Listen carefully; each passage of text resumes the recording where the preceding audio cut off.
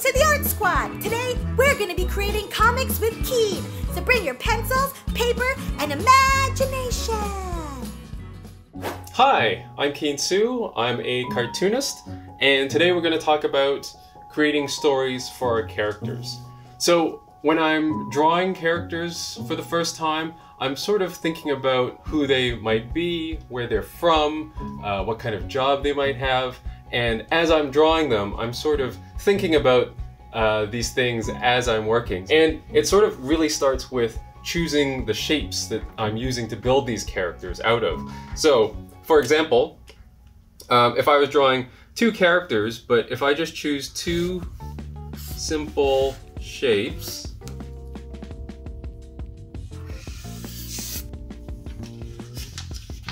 like these, for example, a square and an oval, just adding in simple details. So for the square, maybe just straight lines.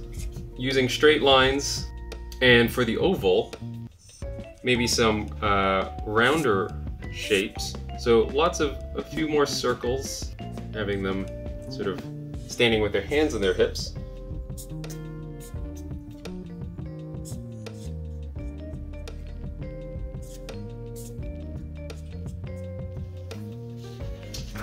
We get a good sense of what these characters might be like, right? With the square character, with a lot of straight lines, we sort of get a sense that maybe this character is a little more stern or serious. And with a lot of round shapes, um, they seem happier or friendlier, right? And so these are sort of ideas that I sort of want to communicate to you when you're looking at these characters. Um, and one of the other things that I uh, think about when I'm creating a character are the details that I'm adding to it. So uh, in the case of uh, my dog, again, as using him as an example, uh, he's just this long tube. And I think I'm going to draw him standing up. So it's just going to be a straight cylinder here. And I'll add in his snout and we'll have him standing up so he'll have his feet here and he's got his triangular ears so uh, I can draw my dog Oliver standing up like this but at the same time I sort of want to add some more details to sort of give a sense of uh, who he is. And in this case, I sort of wanted to do something fun, so I was thinking maybe uh, something along the lines of a waiter. Um, and so I'm thinking about if he was a waiter, what would his outfit look like, right? So maybe he would have like a little bow tie and like a vest.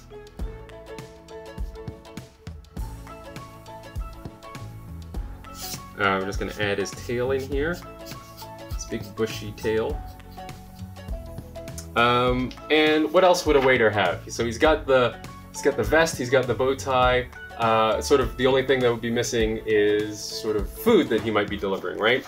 So I think in this case, maybe it'll be a hamburger, and it's just this series of little ovals, and I'll just sort of add some sesame seed buns, and it'll be sitting on a plate that he'll be carrying. So I'll add his fingers here to sort of show that he's carrying this hamburger. So now I've got a dog that is a waiter. Um, but uh, I want sort of want to add more details to it. So because he's a dog, he would be someone that would be really interested in eating the food he was serving, right? So one of the details I could add are sort of his eyebrows and sort of make him look like he's eyeing the hamburger that he wants to eat it. And so as I'm drawing them, as I'm drawing this character, I'm sort of thinking of the stories that might happen. Um, and so now that I'm thinking about it, like he wouldn't probably wouldn't get very far if there was a hamburger that he was sort of carrying out to a table that he's serving. So maybe he would actually eat the hamburger. So maybe the drawing wouldn't look so much like that, but rather a little more maybe something like this. So we've got all the same details of his vest and his actual vest here. And I sort of want to just sort of keep that same pose. But this time, maybe he couldn't resist eating the hamburger, So he's actually maybe serving the plate of crumbs, but he actually has eaten the hamburger before it's gotten to the table.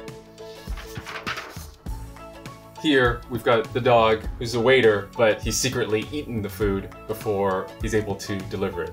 And so one of the things that I always like to do when I'm creating these characters is I just like to sort of jot down notes um, about who they are, what they might be. So in this case, um, we have our character Oliver.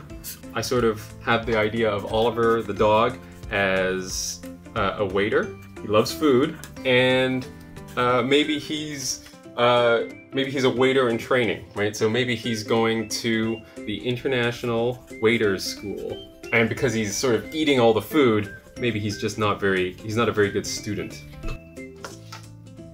And so we're creating stories with these characters, right? And this is almost like a little comic of its own. We've got our character here who's sort of coming out with the uh, hamburger and he's sort of eyeing it and he's maybe feeling a little bit hungry and thinking about eating it. And then even in the second image here, we've got uh, our character who's enjoying uh, the hamburger that he's eaten that he's maybe stolen.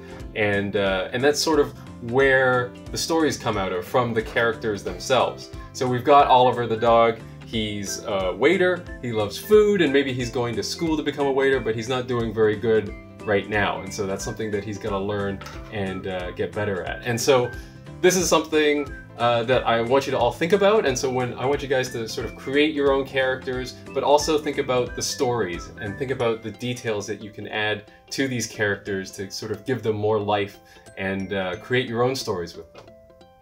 Uh, I think that's it for today. Um, I hope you guys have fun. I hope you keep creating characters, and uh, I'll be talking to you soon. Thanks.